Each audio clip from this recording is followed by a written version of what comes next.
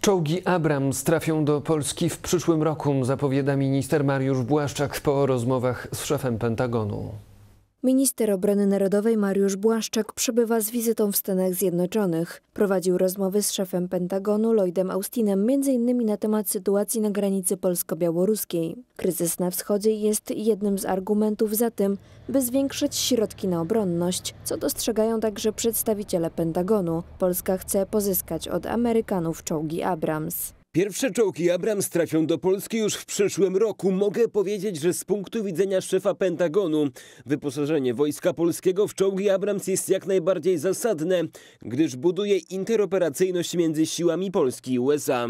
Poinformował minister obrony Mariusz Błaszczak. W sprawie zakupu czołgów szef MONU będzie rozmawiał także z sekretarz wojsk lądowych, która przyleci do Polski w październiku. W ostatnich latach Polska zawarła kilka przełomowych umów modernizacyjnych ze Stanami Zjednoczonymi. Nasze wojsko pozyskało nowoczesne samoloty F-35, zestawy rakietowe Patriot i moduły ogniowe HIMARS.